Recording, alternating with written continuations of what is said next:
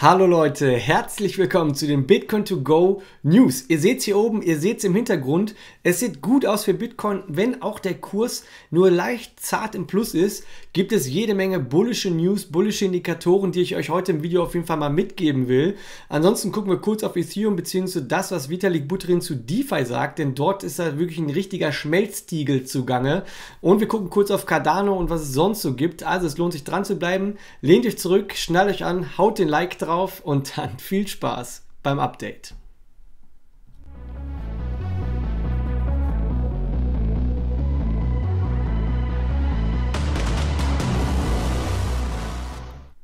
So, und wir starten mit dem Gift des Tages, Gift der Woche, wie auch immer. Nee, Gift des Tages. Ähm, ja, die, es, es haben mich immer wieder Anfragen jetzt erreicht am Wochenende auch, wie mache ich denn meine Analyse, wie mache ich meine Recherche, bevor ich in die nächste Kryptowährung investiere. So sieht's aus. Ähm, ja, also soll natürlich so ein bisschen spaßig sein. Ich mache mir natürlich meine Gedanken, wo ich investiere vorher, aber man soll ja wirklich unbedingt auch seine eigenen Hausaufgaben machen. Denn sonst kann es so enden, dass, wenn man eben in so einen Pump einsteigt, vielleicht spät auf diesen Zug, auf den Fahrenzug aufspringt, dort dann entsprechend auch die fetten Minusrenditen einkassiert, bevor es eigentlich wirklich richtig schön wird. Das haben viele Leute 2017, 2018 am eigenen Leib erlebt und auch in diesem Jahr ist es nicht anders. Ich sage euch immer, macht einfach äh, eure Recherchen, guckt regelmäßig hier bei den News rein, vielleicht auch in meinem Video, aber vor allem vernetzt euch. Vernetzt euch im, in den Kanälen, vernetzt euch äh, untereinander und tauscht Tipps und Ideen aus. Die können wir gerne auch diskutieren und dann lässt sich sicherlich auch der ein oder andere äh, Investment Case vielleicht auch nochmal finden. Aber das ist ganz, ganz wichtig, dass ihr da vor allem auf eure eigenen Recherchen setzt und nicht auf das, was irgendjemand euch erzählt. Auch nicht ich und auch nicht jemand anderes. Ähm, kleiner Schild für euch äh, zu meinem YouTube-Kanal. Äh, ich ich möchte mich erstmal sehr, sehr herzlich nochmal bei euch allen bedanken. Wir haben am Freitag eine kleine Live-Session gemacht und äh, da habe ich den Wochenrückblick quasi interaktiv mit euch dann nochmal Revue passieren lassen. Es hat mir wirklich riesig Spaß gemacht und äh, sehr, sehr coole Aktion. Für mich wäre es jetzt hier noch wichtig zu wissen, äh, wie fand ihr es und vor allem, äh, welche Zeit ist für euch optimal, um so ein Live-Video auch mal zu machen? So ein Wochenrückblick, wann ist freitags für euch eine optimale Zeit oder auch in der Woche? Das würde mich auf jeden Fall interessieren, damit natürlich auch maximal viele Leute das auch mitbekommen. Denn was ich dann wieder ein bisschen schade fand, die Aufrufe waren relativ niedrig mit 887 äh, im Verhältnis jetzt zu anderen News, die ich sonst mache. Liegt natürlich daran, dass das Video 49 Minuten dauert und ich werde es wahrscheinlich in Zukunft so vielleicht machen, dass ich diesen Q&A-Teil, den wir nachher hatten, eben auch nur live machen werde, weil sich das dann eben auch lohnt und äh, diejenigen belohnen soll, die live dabei sind. Ähm, muss ich mal meine Gedanken zu machen. Schreibt mir mal einfach runter, was ihr dazu denkt und dann würde ich sagen, starten wir jetzt aber auf jeden Fall mal in den Markt und in das, wie versprochene, zarte Plus von Bitcoin mit 0,08 Prozent. Auch Ethereum und ansonsten die Top-Kryptowährung relativ verhalten, relativ ruhig. Wild geht es dann hier wieder bei den Altcoins zu.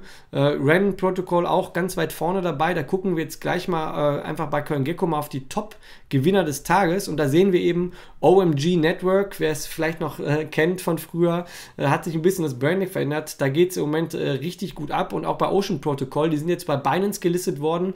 Deswegen auch ein kleiner Pump. Und auch in den letzten äh, Wochen lief es bei Ocean Protocol nicht so schlecht. Auch jetzt das ganze Def die ganze DeFi-Schwemme kommt eben auch dort mit rein, auch bei Waves und natürlich bei Ren.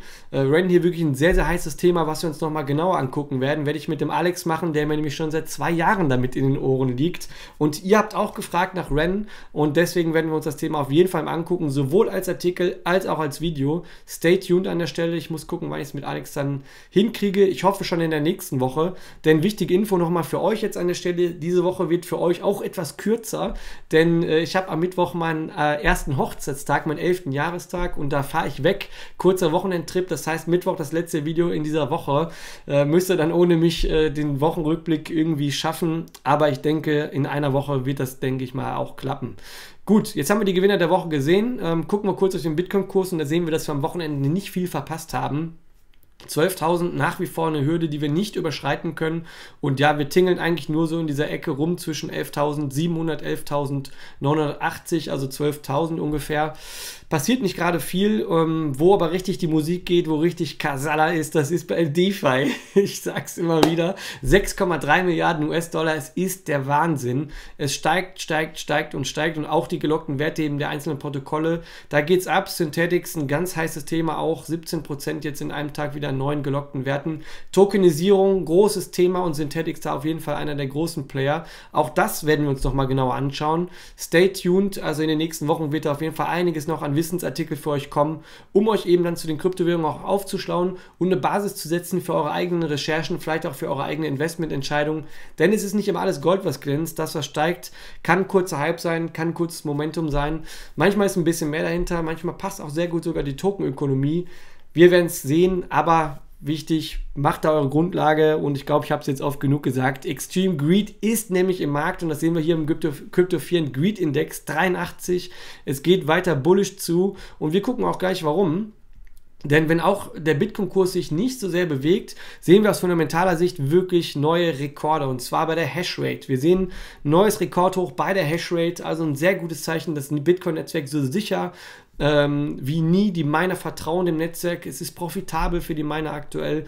Und ja, auch DeFi. Bei DeFi boomt es bei Bitcoin. Wenn wir uns das hier nämlich mal angucken und die Total Value Locked uns anschauen, dann sehen wir, dass vor allem bei Bitcoin es einen massiven Anstieg gegeben hat. Das habe ich heute Morgen in dem Artikel hier auch mal zusammengefasst. Rap BTC werden hier vor allem verwendet, aber auch Ren.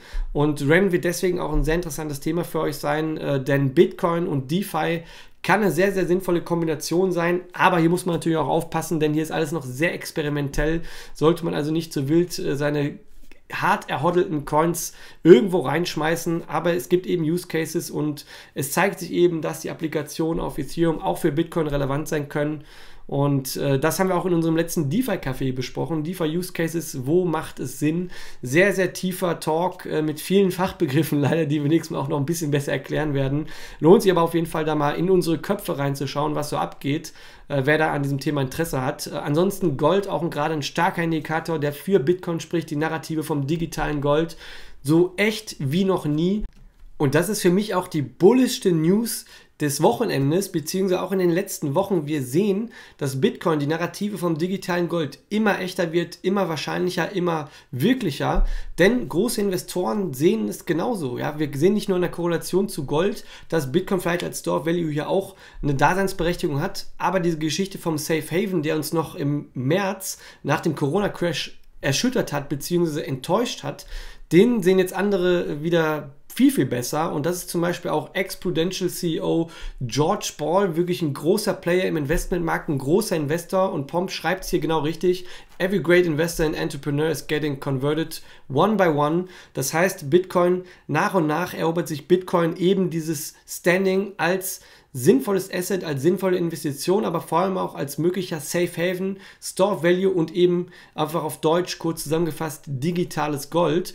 Und das sehen wir zum Beispiel auch an der News von letzter Woche, wo wir eben ganz klar gesehen haben, MicroStrategy als erstes Nasdaq-Unternehmen setzt auch einen Teil seiner Cash-Reserven, 250 Millionen in Bitcoin und sagt eben als Inflationsschutz ist Bitcoin hier sehr, sehr gut geeignet. Also die Narrative wirklich heißer denn je und das muss ich auch ganz klar sagen. Wenn sich das in den nächsten zwei Jahren herauskristallisiert, haben wir wirklich noch äh, ein schönes Potenzial vor uns und eben auch die Aufgabe, die Bitcoin erfüllen soll. Eine Alternative, eine digitale, dezentrale Alternative zu dem, was wir am Finanzmarkt haben und vielleicht auch eben zu Gold und eine klare Weiterentwicklung vom P2P Electronic Cash System zu einem auch wirklichen Store of Value. Finde ich wirklich eine sehr, sehr schöne äh, Geschichte und ja, man muss aber auch ganz nüchtern das mal betrachten und ganz klar sagen, sollte diese Rechnung nicht aufgehen, dann kann es für Bitcoin auch dünn und eng werden, denn das ist eben eine dieser Hauptaufgaben, in meiner Meinung nach, eine der Hauptwetten, auf die ich auch setze, das digitale Gold, sollte diese Rechnung nicht aufgehen, könnte es für Bitcoin auch noch mal ein bisschen düsterer werden, aber wollen wir uns erstmal den positiven Fakten widmen und das sieht wirklich gerade ganz gut aus. Ähm, wo es gut aussieht, im DeFi-Space haben wir ja schon gesagt, Vitalik Buterin ist da zu Recht meiner Meinung nach ein bisschen skeptisch, was das Thema angeht. Hat hier einen kleinen Wutpost, will ich fast sagen, äh, geschrieben, wo er eben sagt, dass man nicht in jedem neuesten DeFi-Trend mitmachen muss, über sein Geld mit reinschmeißen muss, denn es gibt eben auch große Gefahren, äh, experimentelle Phase hier und er ist sich auch nicht sicher, wie nachhaltig das Ganze ist. Also da sollte man extrem aufpassen. Ethereum bietet für ihn auch noch mehr als eben nur DeFi, also auch andere spannende Anwendungen, die man ausprobieren kann. Aber klar, da wo hohe Renditen sind, sind eben auch äh, die Investoren da, die da investieren wollen und äh, Gas geben wollen, da was mitnehmen wollen. Aber auch das, was ich gerade schon am Anfang gesagt habe, do your own research, passt dir wirklich auf. So viel heißen Scheiß es auch im DeFi-Space gibt, es ist eben, wie ich schon gerade gesagt habe, auch viel Scheiß dabei, das muss man ganz klar sagen. Scam ist es nicht, meiner Meinung nach. Wer sagt, es ist ein Scam, hat es nicht wirklich verstanden. Aber manche Systeme sind doch wirklich ein bisschen konstruiert und es ist eben auch eine Experimentierphase. Wir haben das in den DeFi-Cafés schon gehabt. Ähm, ja, ich kann mich da nur wiederholen. Ähm, spannende Entwicklung und wir werden euch da natürlich weiter auch informieren. Aber ich sage euch mal ganz ehrlich, mit Bitcoin seid ihr auf jeden Fall gut, was Langfristigkeit Nachhaltigkeit angeht, aufgestellt.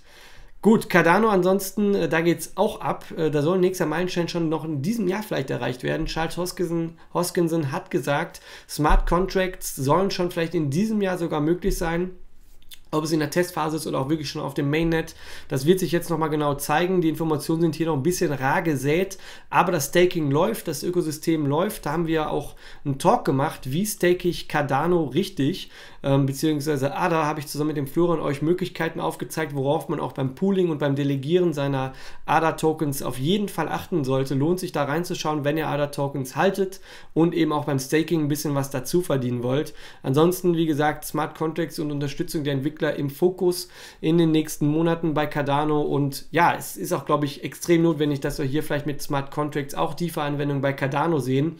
Wer weiß, ich glaube, viel, viel spannender wird es dann, und das ist jetzt nochmal so ein kleiner Ausflug, wenn es nämlich dann darum geht, wie kriege ich denn diese ganzen Protokolle auch zusammen? Denn eins sollte klar sein, ich glaube, die Welt, die Zukunft, wie wir sie kennen, wie, wie, sie aussieht, also die Blockchain-Welt, basiert vielleicht auf Bitcoin als Layer One, als sicherstes, bestes Netzwerk und ähm, absolute Bastion aber Applikationen finden wohl eher auf der Ethereum-Blockchain, auf anderen Blockchains vielleicht statt und die müssen auch noch miteinander kommunizieren. Interoperabilität wieder ein ganz heißes Thema, fast wie 2018. Ja, was machen wir denn mit den ganzen Sachen? Die müssen ja miteinander kommunizieren können. Kommt das jetzt wieder hoch mit Polkadot? Da geht es ja jetzt morgen äh, ab, da werden die Tokens verteilt. Also auch das ist ein heißes Thema. Wenn es euch interessiert, haut es mal unten in die Kommentare. Auch dazu können wir mal einen Bericht machen, wenn ich auch sagen muss, es ist sehr kompliziert, was dahinter Polkadot steckt. Ansonsten Wissen, wenn ihr das aufbauen wollt und Analysen, News, ähm, beziehungsweise News nicht, ist ja Wissen, dann guckt mal in unsere Wissensrubrik rein. Da findet ihr alles von A bis Z. Das wird hier regelmäßig erweitert um neue Coins, um neue Projekte, aber auch um neue Begriffe. Gerade im DeFi-Space sehr, sehr viele neue Fachbegriffe. Aber hier findet ihr alles Wissenswerte, auch in der Bibliothek. Könnt ihr euch einfach ein bisschen durchwühlen, ein bisschen gucken, was euch so interessiert ganz viele Insights zu DeFi, auch zu Finanzen, unsere Ratgeber. Also es lohnt sich ein bisschen bei uns durchzuschauen. Ansonsten nochmal ein Schild für den Instagram-Kanal. Haut hier die Abos drauf und äh, freue ich mich, euch da auch zu unterhalten zu können mit kürzeren News. Also guckt da mal rein. Mache ich jetzt aber auch nicht regel regelmäßig den Chill. Ähm, ich hoffe, es hat dir jetzt gefallen. Ich hoffe, du konntest was mitnehmen. Wenn nicht, schreib es mal unten in die Kommentare. Was fehlt dir? Was brauchst du noch? Also ich sehe, ihr seht, ich brauche eure Interaktion. Ich wünsche euch jetzt einen super Start in die Woche, eine super Woche und wir sehen uns beim nächsten Mal. Macht's gut ciao.